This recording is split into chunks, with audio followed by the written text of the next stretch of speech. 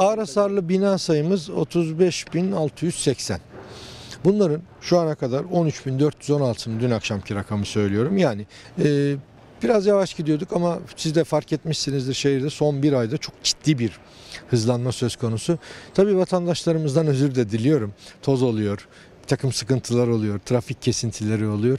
Ama lütfen biraz daha sabırlı olsunlar. Biz birkaç ay içerisinde özellikle şehrin merkezini bitirip herkesi rahat ettirmek istiyoruz. Hem fiziki anlamda hem sağlık anlamında hem de psikolojik ve sosyolojik anlamda da rahat ettirmek istiyoruz. Bu kötü görüntüleri birkaç ay içinde kaldıracağımızı düşünüyorum.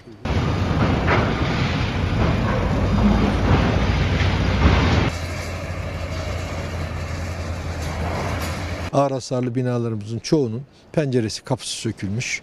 Dolayısıyla gündüz e, hayalet gibi duran, akşamları da ışık yanmadığı için insanlara adeta korku veren bu binaları inşallah bu hızımızla birkaç ay içerisinde özellikle şehir merkezinde tamamlıyoruz. Tamamlayacağız. E, vatandaşlarımızdan biraz daha sabır diliyorum. Biliyorum trafik aksıyor, toz oluyor, başka problemler oluyor ama düzenimizi kurduk. Çok hızlandık. Gerçekten çok hızlandık. İki aydır, iki ay önce %15'te olan yıkım seviyemiz şu an %46'dayız.